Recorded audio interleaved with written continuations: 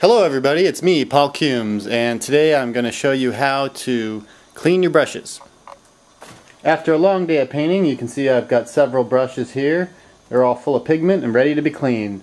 I like to use a lot of brushes to hold different colors and have different sizes to do different things. So I usually end up with about uh, 5 to 10 dirty brushes at the end of each painting session. The work for today is over, so let's go clean the brushes. What you'll need is some Turpenoid, um, or you know some kind of solvent.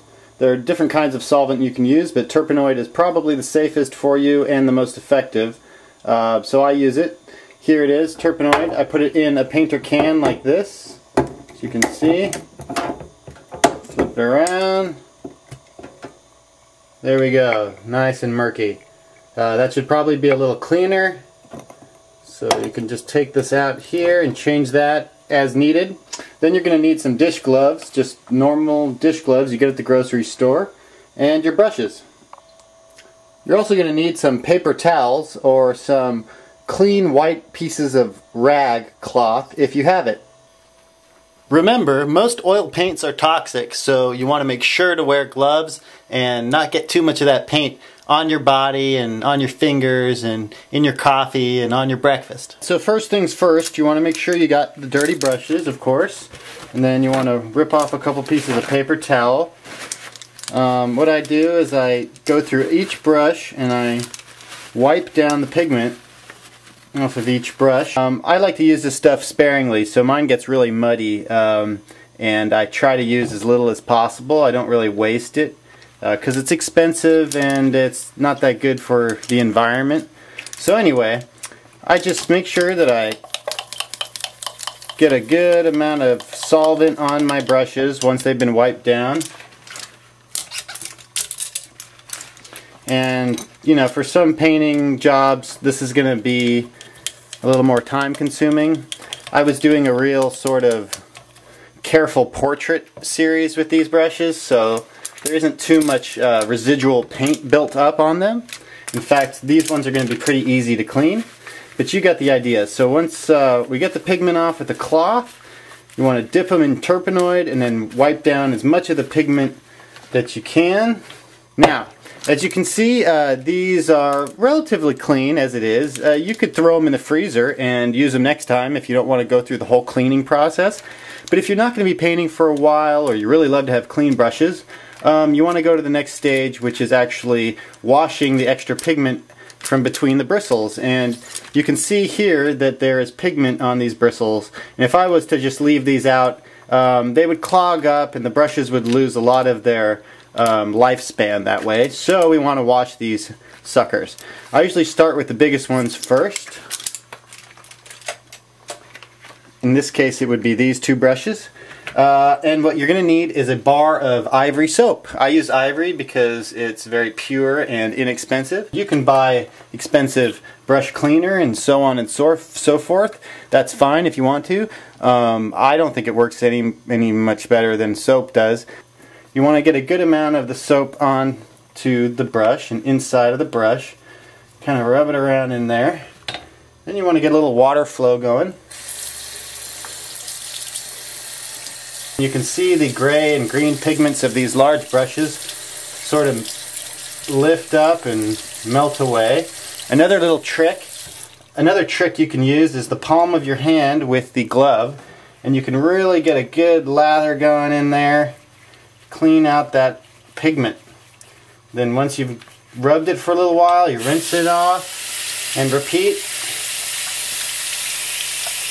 Using the palm of your hand as a uh, textured surface to clean the brush. This is a good gentle way of cleaning them because um, it doesn't really hurt the brush too bad and that way the bristles won't sort of splay out after a while. If you feel like you could even clean it more, can always go back to the bar soap and uh, rub it around a little more.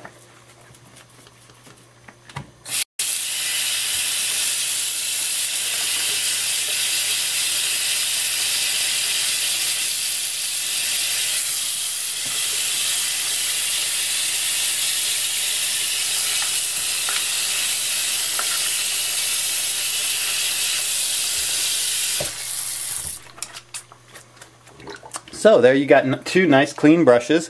I'm going to go ahead and do the same procedure to the rest of the brushes and you can check it out.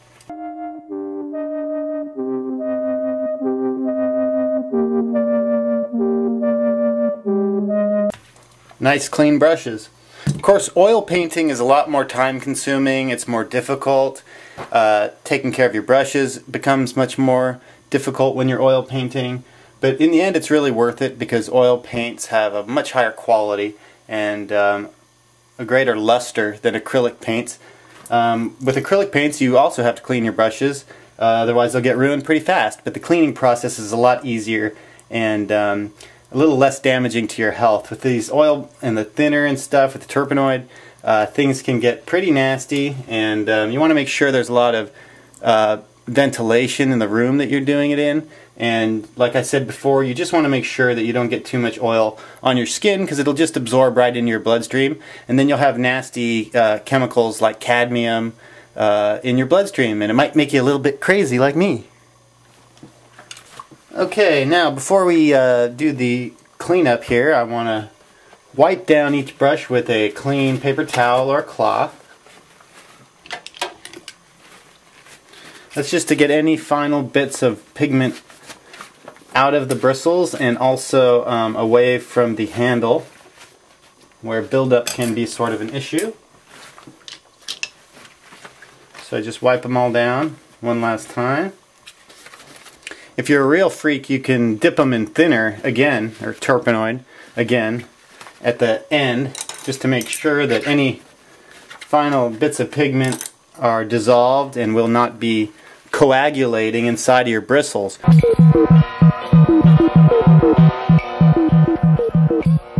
The thing you really want to worry about is the bottom of the uh, bristle part where it meets this part um, because a lot of pigment can get caught up in there and then it collects and then within a couple years your brush is history.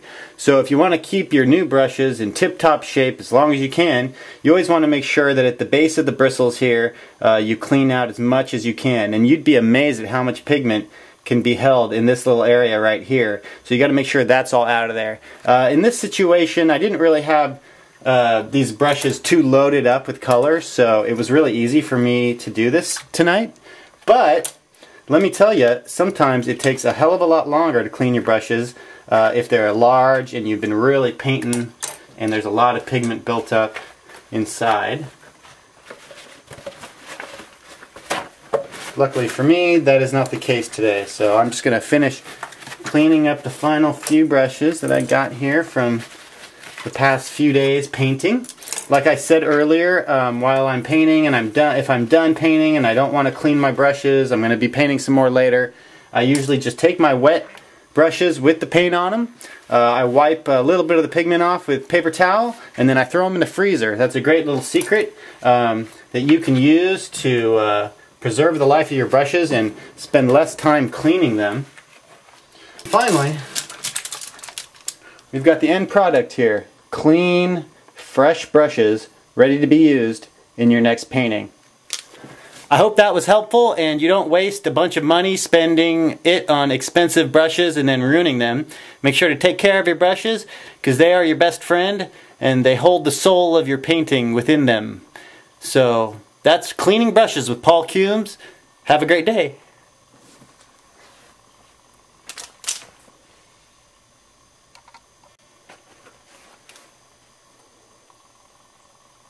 Thank